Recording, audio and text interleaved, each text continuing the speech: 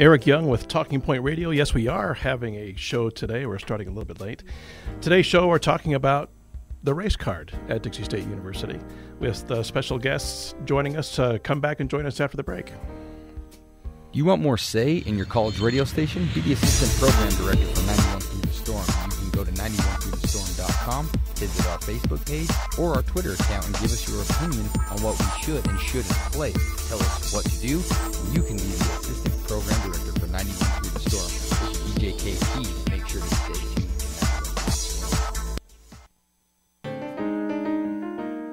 Welcome to Talking Point. It's the talk you avoid at the dinner table, but it's the topics that blow up on Facebook. Join the conversation on Twitter and Facebook at Talking Point SUL. Now, your hosts for Talking Point, Jennifer Kohler and Eric Young. Welcome back. Eric Young here with you. along Jennifer with Kohler. My co host. We have a couple of studio guests today as we talk about race at Dixie State University. Uh, Tia Matthews and Morgan Kirk here are going to join our conversation that we'll have for the next 40 minutes or so. Um, a little bit of background. I ran into Tia the first time when I judged her at a speech to entertain competition that we had. Uh, what was that last year? It was last. Uh, I can't I remember which spring. semester. Was it spring Spring? semester? I think Yeah. it was too. Because we're in fall now. We are in fall now. Thank you for that reminder. And uh, Tia gave. Uh, you won that, didn't you? Did you win that? Uh, second place, actually. Second place. Yeah. Okay. All right. Um, no, I judged you, but I want you to know I had nothing to do with you coming in second. Just so I'll, you're aware. I'll aware. take your word for that. mostly.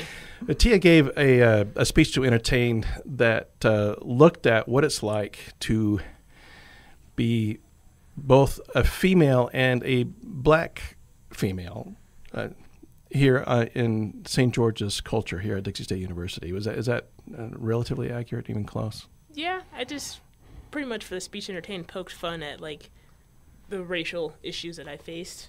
Okay. And all that stuff. So I've I've asked you to come back in here and, and give us the speech. Let's can you let's start with that. The the whole speech. The whole oh man. and nothing but the whole. Speech. It was just stories of my blunders here in Dixie. I one of the stories I told in my speech was of how I went to Target freshman year with my roommate, and um, we were just getting stuff from Target, you know, because Target has those all those commercials of stuff you need in your dorms, blah blah blah. And we're just shopping around and getting stuff. And my my roommate as well was was black or is black, I guess.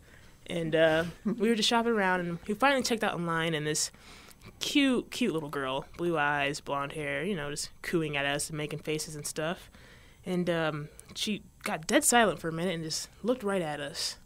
And then she kind of looked at her mom, and she looked back at us, and she points and she goes, "Mommy, chocolate," pointing dead at us. And that was how I knew I wasn't in Vegas anymore, and this is going to be a, definitely a different experience. And then um, one of my second experiences out here was at Costco, and I saw these uh, group of people who dressed fairly fairly conservative with long dresses and the dark shoes, and they had their hair in these really high braids. And I kept thinking to myself, this is like a National Geographic special, or is this TLC, or are, this, are they real people? They're a, the group of polygamists. I've never seen any in Vegas. Yeah, for, they're polygamous wives. Just Yeah, just sorry. for clarification. Polygamous wives. And I was like, wow. And they had their kids with them. It's a trail of kids with them, and it was like a war in there. Just all five, six, ten of them hanging out together. I was like, wow, this is this is real. I'm definitely in Utah, and it just kind of blew my mind. Things like that. So, yeah, that was, I guess, the abundance of my speech. Just how different it was being from one place to another, and things that just kind of opened my eyes, I guess. Now we would expect a little bit of culture shock coming from anywhere to here to St. George in that respect. Uh, you came here from Vegas, is that Yep. right? And you're born and raised. Born and raised. in that respect. Um, I, I'm almost wanting to ask you that uh, question.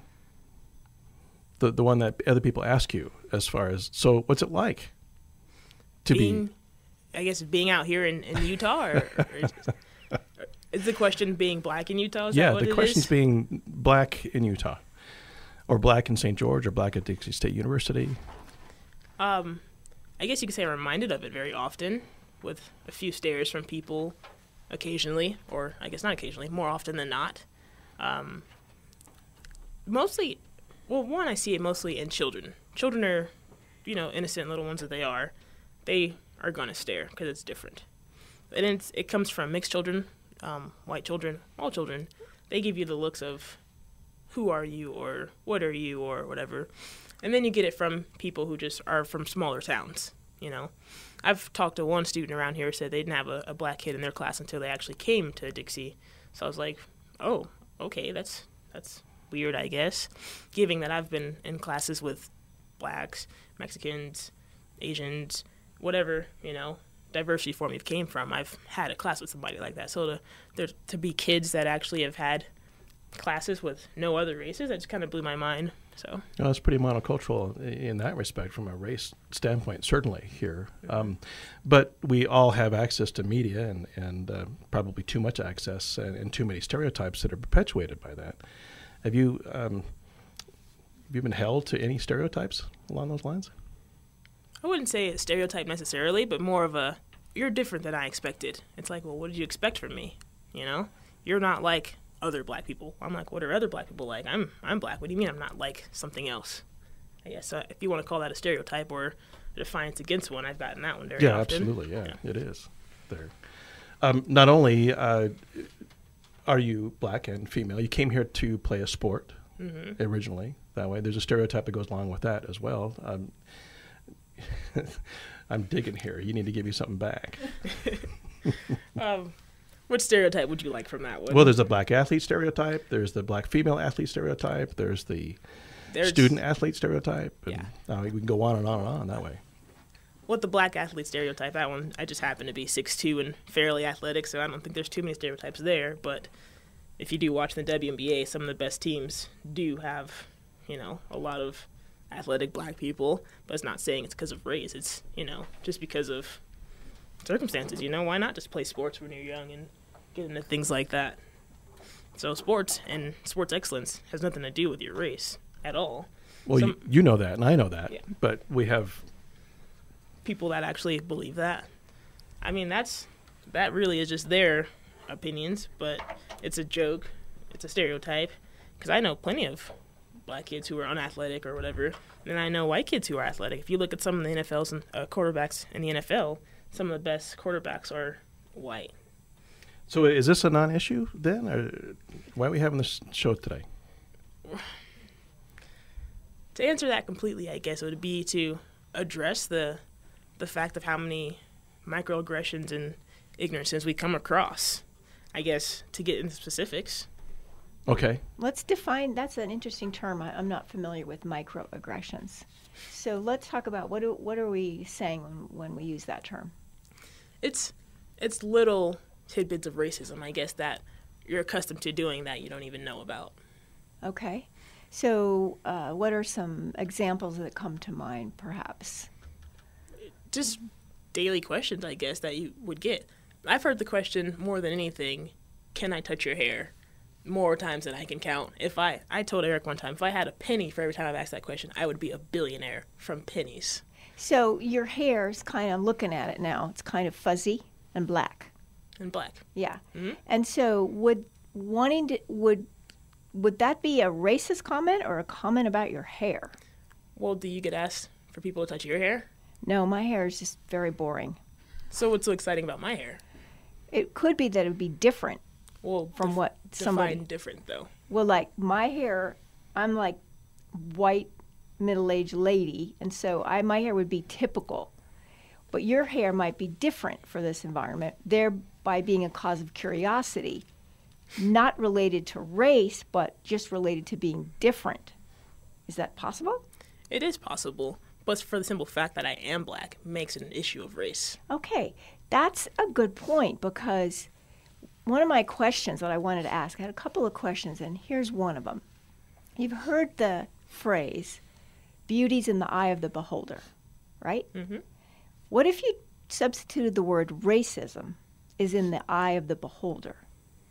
Let's ex- explore that possibility. Do you So- think that could be a valid question to ask? Is that From what I got from that question is racism can be justified based on how you look at it. If you substitute it, racism is in the eye of the beholder. Well, I wouldn't say, I wouldn't get justified. I'm just saying even exists. So, what could it be possible that sometimes that could be true? Do you think? Well, the fact that it's it's here's where I come back to microaggressions. The Okay. fact that that question gets asked, it's can be not considered racist. I guess it's just Okay. a microaggression. It's become a custom. It's a thing that I've gotten used to now.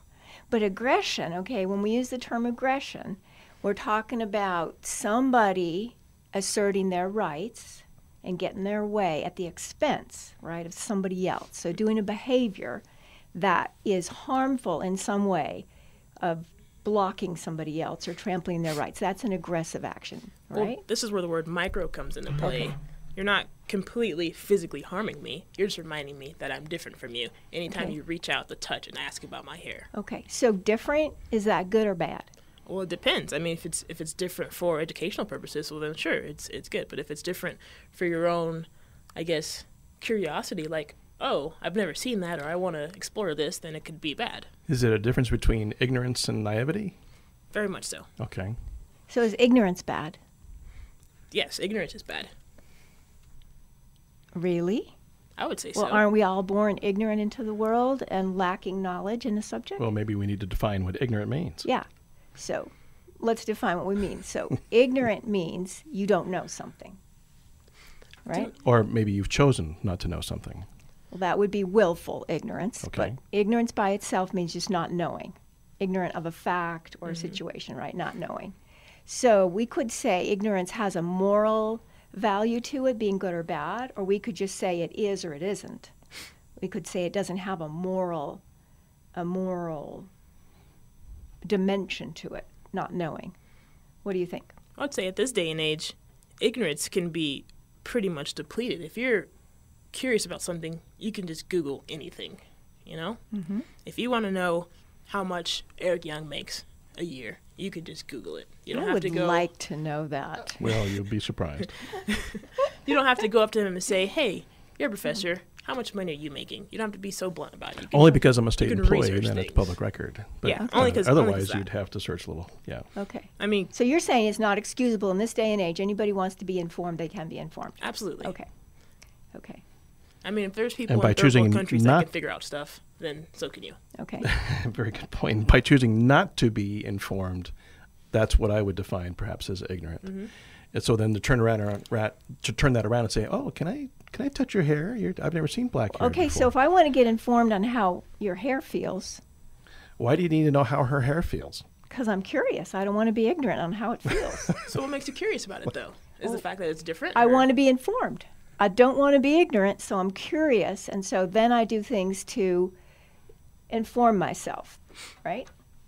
in a sense, yes. Okay, so curiosity is, uh, you know, there's ignorance. We said, I don't know if we decided if it's good or bad. Do we say it's morally neutral? and Well, just, yeah.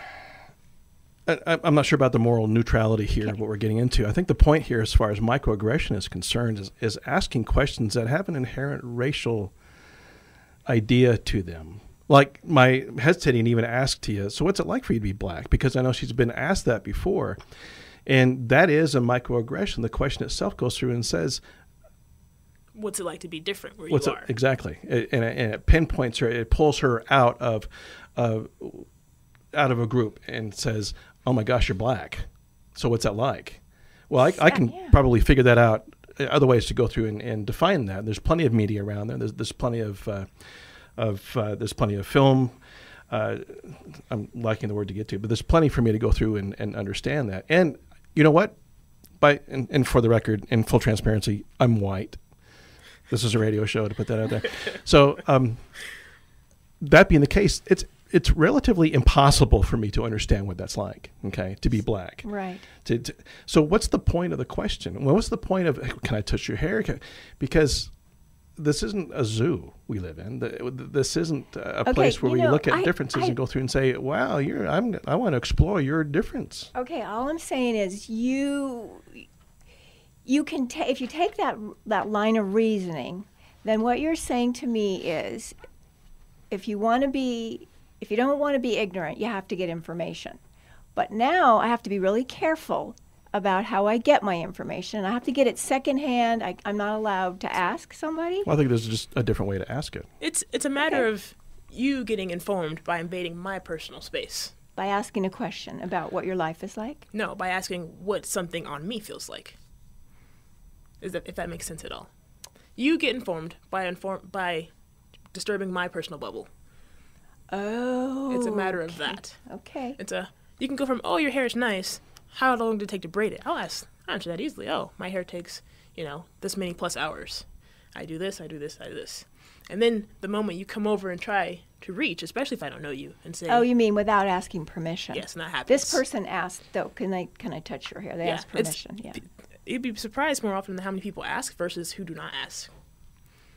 So You know, typically, you were, you were explaining to me the other day. You you get the point, You the get- reach. you get the point, the reach. There's a sequence that you know someone's going to reach out and try to touch your hair.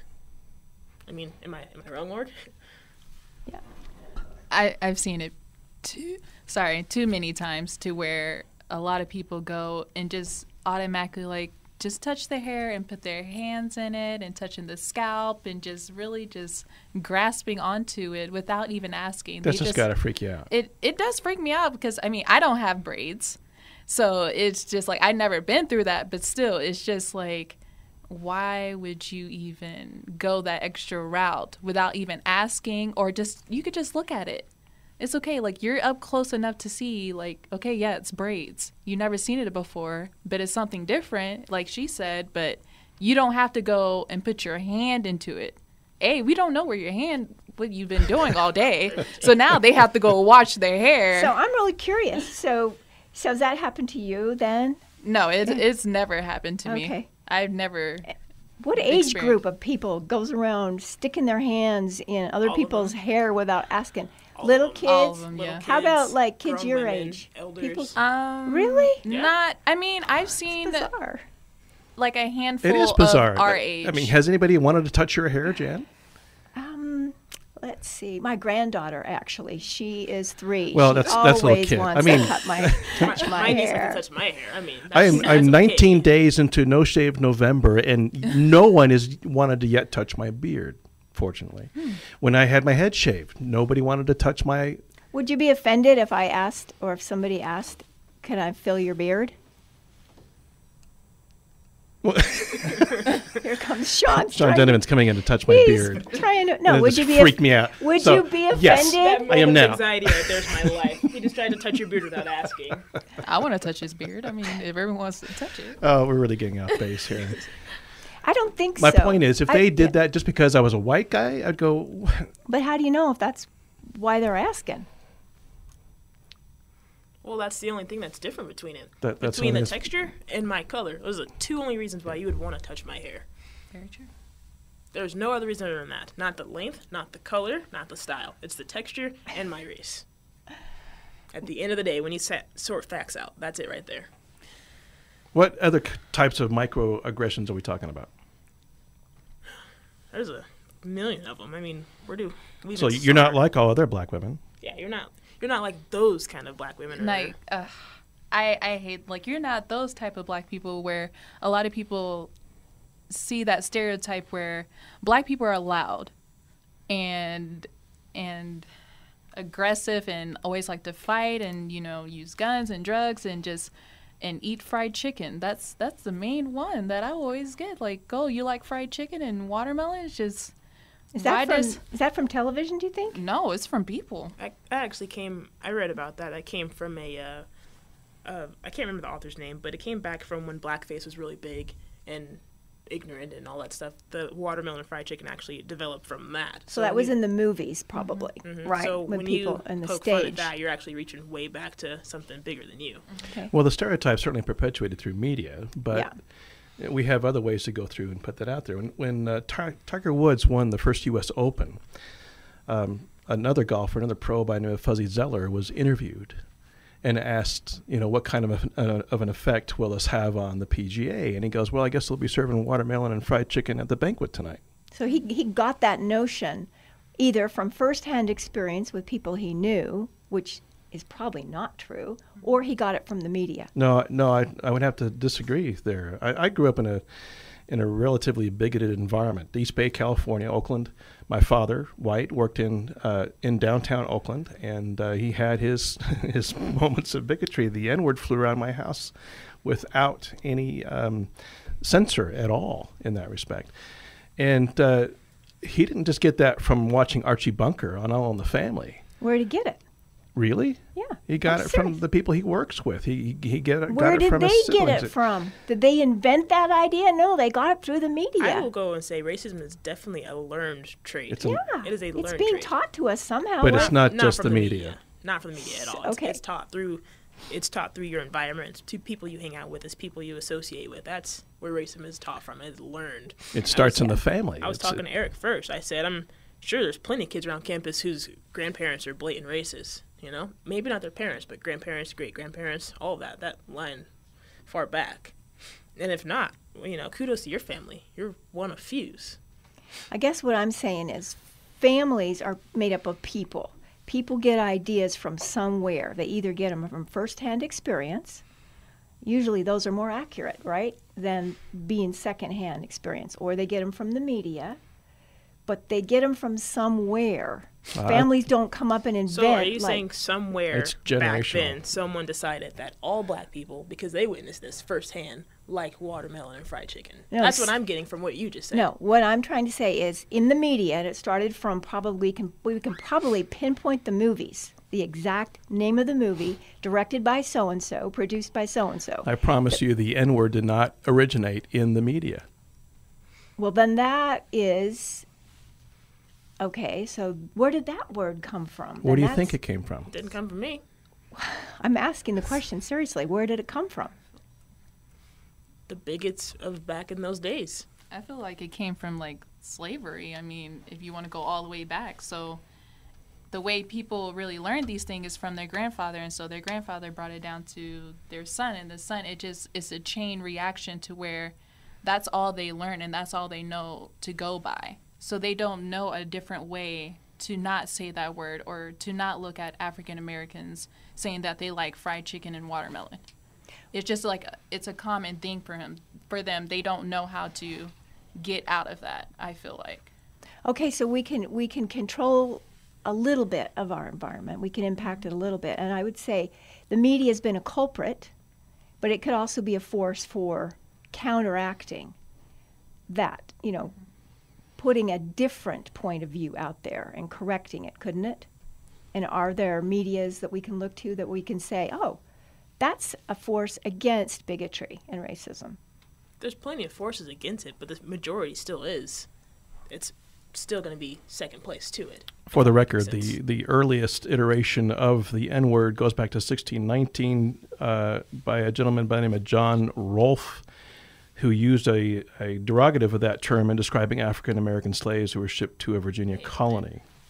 in print, do you think, or just does it say anything more about the use of the word if it was printed in like a Oh, I get I get later. It doesn't say how Yeah. he used the word. I would imagine it was it might have been on a handbill or something. Wolfe was uh, one of the first early English settlers settlers of North America, credited with the first successful cultivation of tobacco. I'm getting this off of his biography, Okay. but yeah, it didn't say what's going on there. Speaking of Wolf, there's a movie, if you haven't seen it, called Traces of the Trade Stories from the Deep North.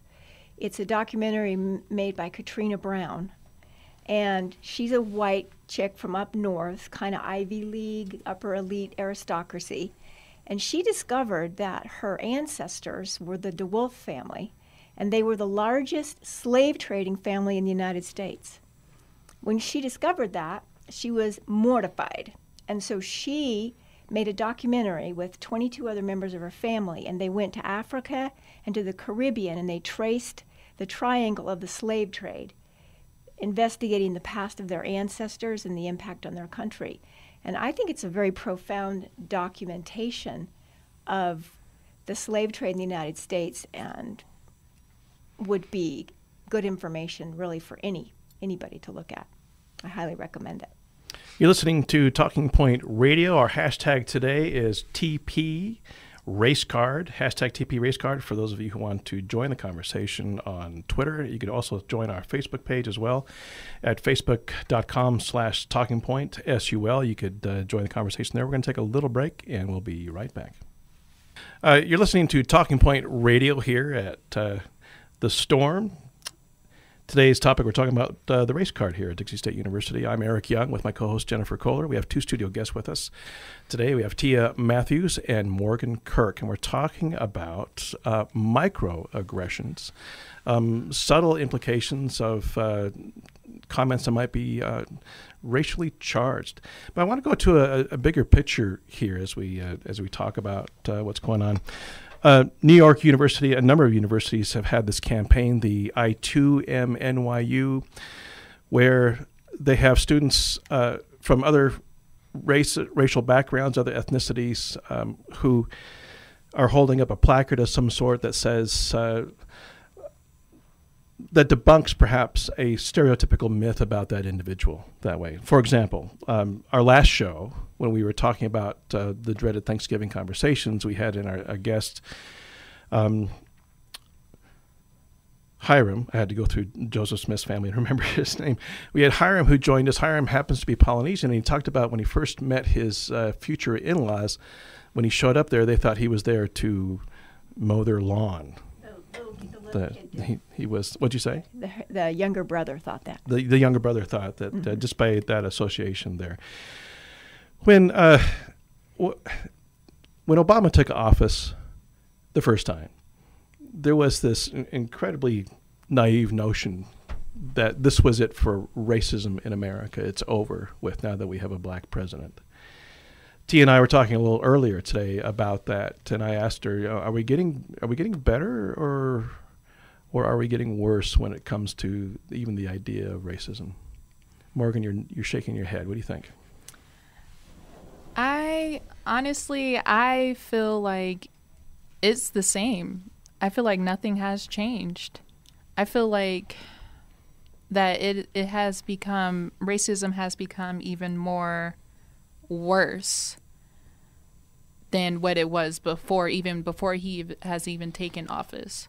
So I feel like it's it's I I'm just shaking my head on it. It's just Is that be, because we have a black president, and that opens up? Is it the social media maybe exacerbate that? Um, Does what's happening in Ferguson? Yeah, I was I was that? gonna bring that up also. I I I feel like these police officers have ever since the Ferguson incident has happened, I feel like these police officers can pretty much do whatever they want to do now. I feel like if they see a, a African American just walking down the street and they think they have done something, and then just you know, boom, they're dead by a police officer. It's just they they are taking that extra route to even put their hand on their gun and shoot one of us. I I, I it's just it's just too much to even go into. I feel like just go ahead to you. when it if we talk cops and race, the event of driving while black, that is real. That was my next question to you. That is real. Driving while black. Have you been pulled over while driving while Actually, black? Yes, actually. Last year I had I had this little old beater car and whenever I drive home from work, um I mean, you know, just, it's a simple car, nothing fancy, fantastic about it. I'd just be driving down the street, listening to my music. Nothing that you would steal. In other Nothing, words, nothing right? to do to steal. I would Okay. probably pay someone to steal it. That's how much of a beater Is that it here in. St. George? Yeah. I had this little beater car, and usually driving home from work, a cop would follow me home, just uh, out of curiosity. There's nothing special about my car. It's a it's a grandma car. It was a '85 Buick. It was Maybe he just wanted to touch your hair. maybe he just wouldn't touch my hair. But driving all black is a real thing, because I would drive home with friends after work sometimes. Same street, same cop parked there, nothing. But me, yep, driving down the street. Oh yeah, there it is. I got pulled over more times in that car than ever in my life. I never got a ticket. It was always just a one of those curiosity checks or make up a, a BS reason to pull me over. You didn't have a bumper sticker that said legalize marijuana. None of that. None of that. Or one time I was like, uh, "Oh, your your blinker wasn't on." It was on because I saw it up here, and I definitely saw it in my rearview mirror Okay. blinking as well. right. You just wanted to run my name and see who I am, twice in the same week. So, driving while black is real. Uh, more often than not, happens to guys though. I'm, I'm sure if we had a guy in here, he'd probably have double my number. Yeah, I extended an invitation to a, a number of students that way, but uh, haven't, the, the football practice is going on and, and study time and all that kind of stuff. So here we are, as it goes. Morgan, any experience that way with? Uh, Um, I've never had experience that type of way at all. Um, yeah, Tia's car was really one Those of are those real beater. cars. I mean, Hey. Yeah, no, not that fancy, but I've I've never had that experience. I've had plenty. I have other experiences. You know, going to a store and someone thinks I'm stealing, and I'm I haven't stolen anything. I'm just trying to go in there and shop. But you know, there's been multiple times as people will stop and have other people just follow you around the store. For what reason? I'm not doing anything. I don't look suspicious. I'm just shopping. I'm trying to give you guys money. But it's it's makes me uncomfortable, so then I leave. You it's too many. You could probably take a survey of 10, 10 black kids, and nine of them would probably say they've been followed around the store on any given occasion for no reason. You can always tell. It's never really subtle.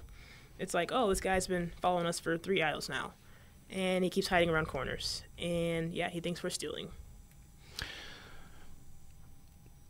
So, at, at what point do we say we are playing the race card? Or is that even a legitimate comment to make? Let, let me put some context to this. I told you the story before. Um, I attended Southern Utah State College, SUU, back when it was before it was a university.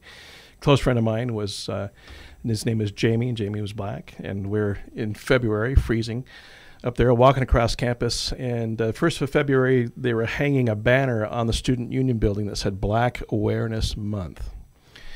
And i turned to jamie and i said my gosh jamie you're black.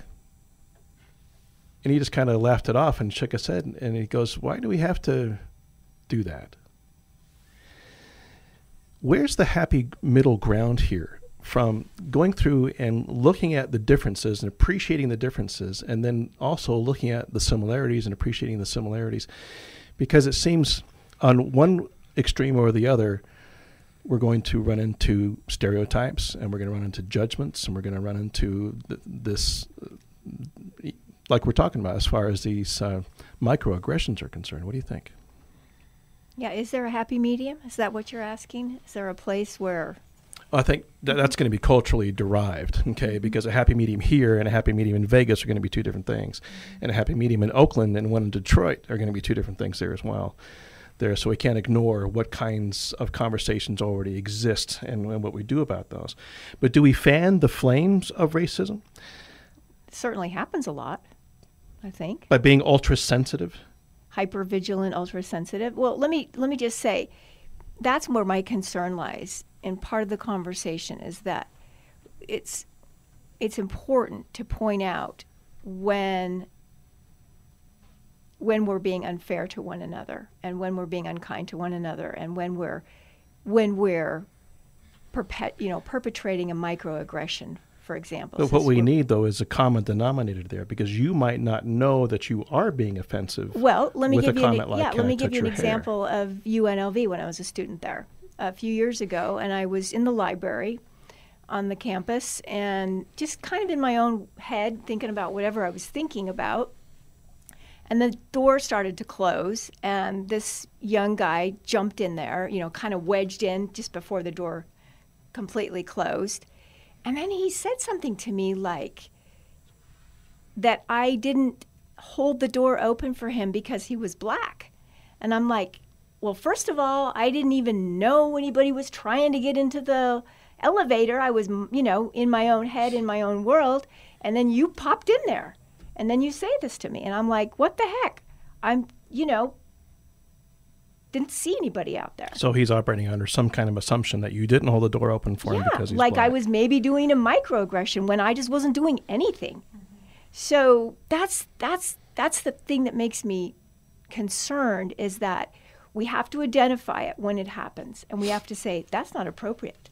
That's not appropriate in our society in our culture to treat people poorly. But we also got to be careful that we don't see it happening if it's not happening, right? That we don't take offense when no offense is intended. Because, man, we'll be running around being unhappy with each other unnecessarily.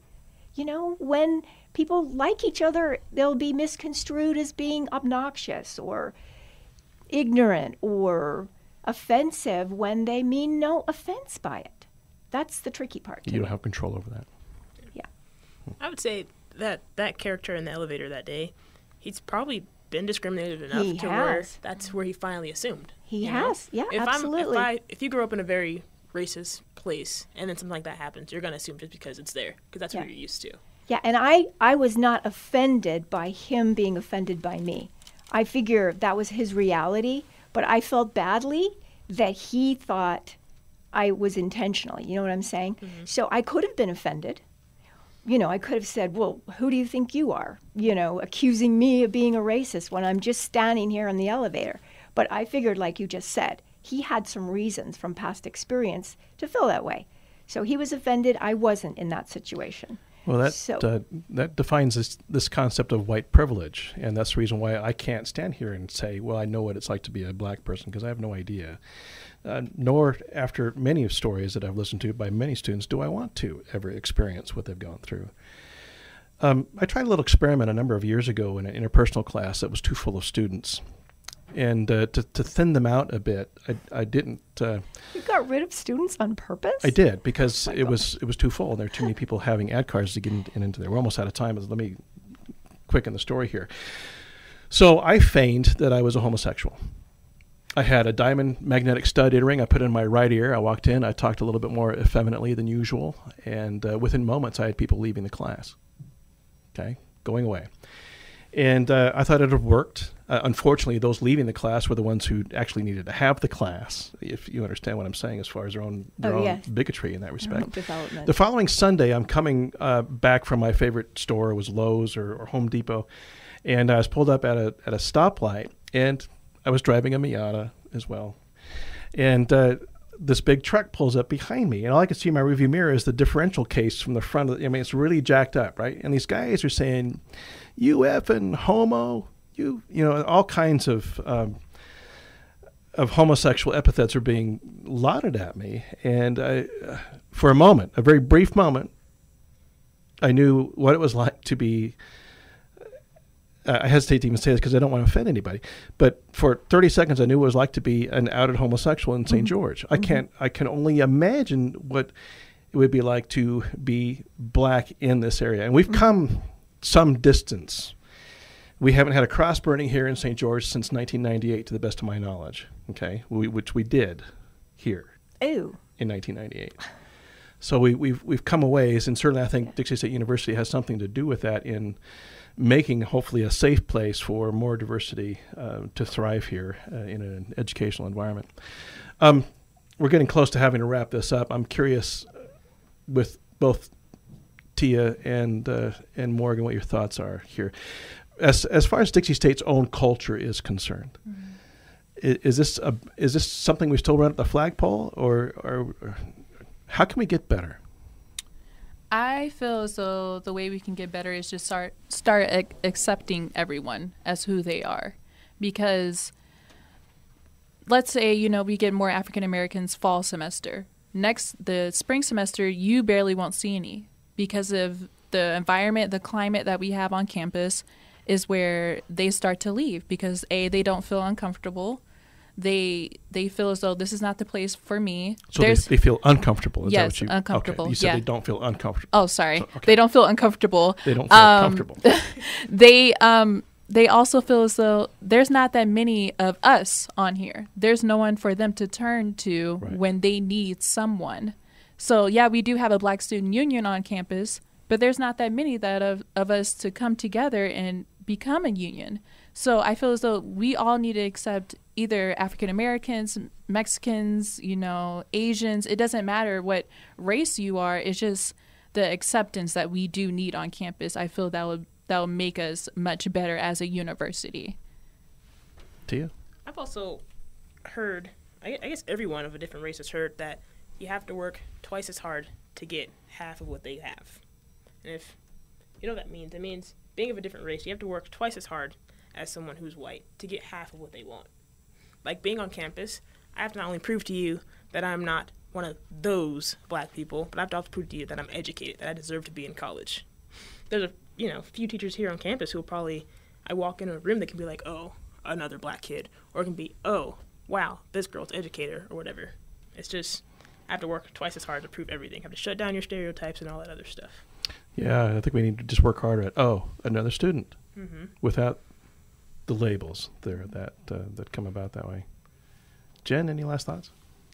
I really appreciate you guys being on our show and sharing really what your experiences have been like. I appreciate it a lot. Thank you. Talking Point. Radio, you're listening to. Today we talked about the race card with uh, not quite the depth I wanted to get into, not quite the time either. We started our show a little late today. You can join the conversation on our Facebook page, facebook.com slash Talking Point SUL, where you can uh, comment there. I'm going to put up a, a, a link or two. Um, especially dealing with uh, I Too Am NYU, their campaign. I think that's something maybe we uh, probably ought to be doing here at DSU. And you can also join the conversation on our Twitter feed at, uh, at the hashtag TP Race Card. You can hear rebroadcast of the show Friday at 6 p.m. or go online and, and find podcasts for that there. On behalf of Jennifer Kohler and our guests, we wish you a great Wednesday afternoon. Thanks for joining us. You've been listening to Talking Point with the talk you avoid at the dinner table, but the topics that blow up on Facebook. Join the conversation on Twitter and Facebook at Talking Point SUL. Join us next Wednesday at 2 for more Talking Point with Jennifer Kohler and Eric Young.